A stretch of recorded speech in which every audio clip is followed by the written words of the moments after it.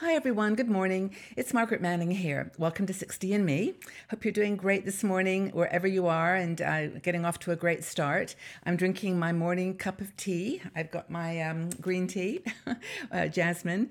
Uh, it's lovely, lovely tea. I actually have been drinking it um, iced cold with a bit of um, uh, lemon juice, and uh, it's just one of those versatile teas that I, I enjoy. But anyway, hope that you're doing well and sit down and relax and uh, have a topic that we've talked about about a bit before, but it's one that I think is so important for women in our 60s, and it's just useful to get a different uh, perspective and lens on the on the subject. So um, I want to start first of all, though, by thanking our sponsor, Puritan's Pride.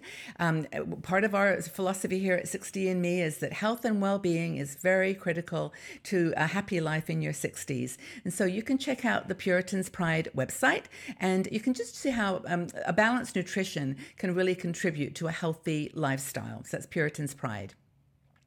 Now, um, the topic. Topic today. Uh, one that I dealt with in depth about three, four years ago, maybe longer, and actually have now made a lifestyle um, d- decision to, to focus on. That's downsizing. Just reducing the number of items that I have in my life. It seems honestly like every week I take a bag of things to the local charity shop because I just go through my closet and I realize you know, why did I buy that? Or I don't really wear that. Or, you know, someone else can use this more than I.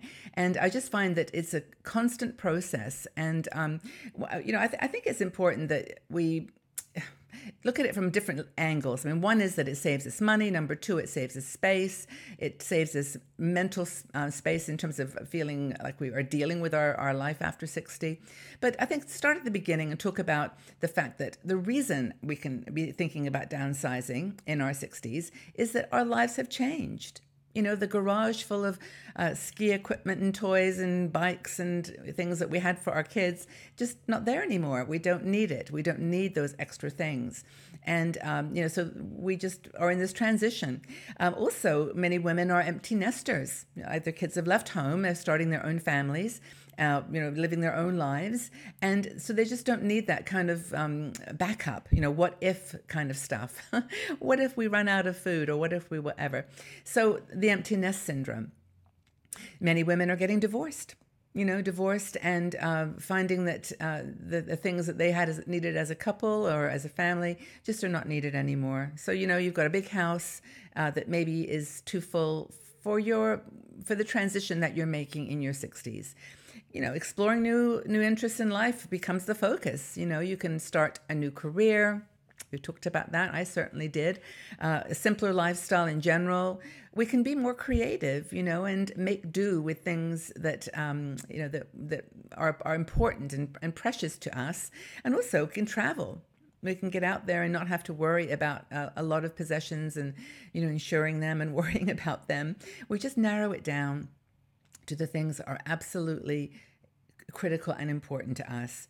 And then, of course, the bottom line is that we save money. We don't need to be buying so much stuff anymore. And I think that this is like everything else in our early earlier years. We we form a contextual relationship around people and places, and also around our things. And I think we start to define ourselves by those that stuff. And so this this this challenge of, of downsizing and, and becoming more minimalistic, becoming a minimalist, is um, is like tearing a part of yourself away as well. So I think that's why sometimes it can be so hard. But here's some ideas. I mean, what would you what what should you do if you're thinking about um, moving into a new place, uh, selling a bigger house, moving out, or just downsizing in general? Look look realistically at the space. If you're thinking of renting an apartment, for example, is your furniture going to fit? You know, is it going to look okay? Will it be the is it the right size? Have you got enough walls for the art that you want to keep? This was one of my biggest challenges when I moved. Is um, I we had a couple of houses actually, and we had lots and lots of walls and lots of art.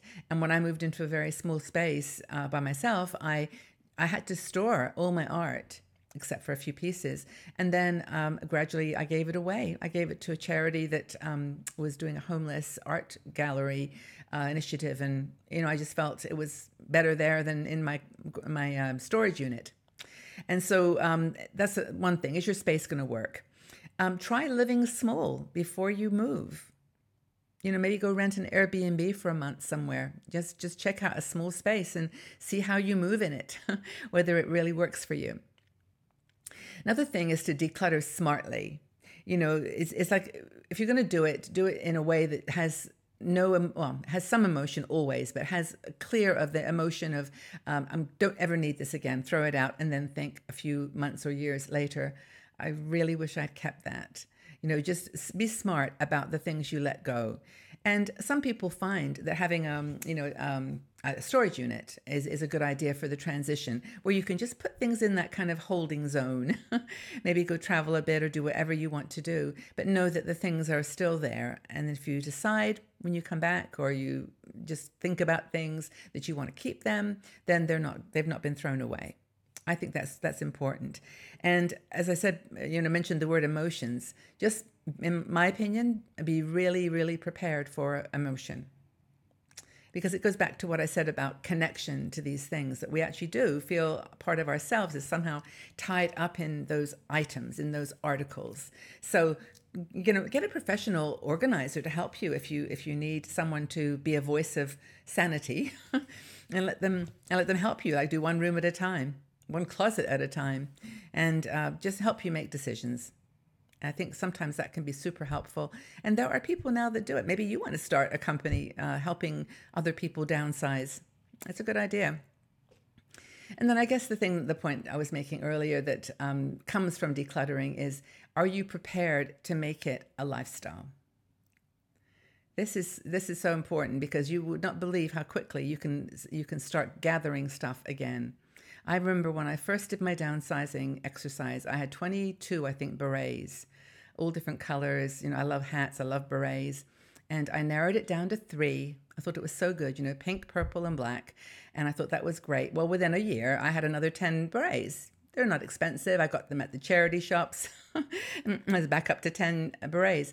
Now I think I probably do have about 10, and that's kind of where I'm at. I don't buy any other hats. That's my wardrobe of hats. So, but, but the point here is that um, be careful that you that you make it something that you you you incorporate. There's lots of really cool blogs now on lifestyles, and um, I read one yesterday, in fact, and she said one thing in her blog that really really struck me, and I'm going to do it, and that was make your kitchen counter sacred. I really never thought about it in that kind of a way. But she says, keep it clean, keep it spacious, keep it only with the things. Like I have a, a little table that I put things that I'm going to do that day. Like if I have some mail to drop off, or I have um, a package to, to send, or some something to do at the bank, I'll um, put that on the little table on a corner, and then I remove it. I know that's done. You know, it's it's it's finished. But that's important, I think, to have. Um, a way of um, bringing minimalism, simplicity into your everyday life You can do that. I mean, sell things if you can. There's some really good ways now. You can find new homes for, for things, but just find some ways to give away, recycle, reuse, repurpose, do something so that the, the items are not wasted. We're not adding to landfills. And at the same time, we are clearing our hearts and minds of these things. There's a really great quote. I think it's by um, uh, Joe, can't think of his name, Morris, who was the founder of the arts and crafts movement. And he said, Have nothing in your home that you don't consider to be useful or beautiful. So maybe that's a place to start. Well, I really appreciate you uh, listening to this and hopefully getting something out of it. Leave your comments in the section below. If you've gone through a downsizing exercise, how did you do it? What, what was it all about? Have you downsized your home recently? And what was the experience like? What could you share with other women in our community? Okay, everybody. Well, I hope that you're having a great day. It's nice and sunny and bright here today, so I'm going to go out for a walk and uh, hope that you do something good for yourself and tell us about your downsizing experience. And I look forward to chatting with you all again soon. Bye bye for now.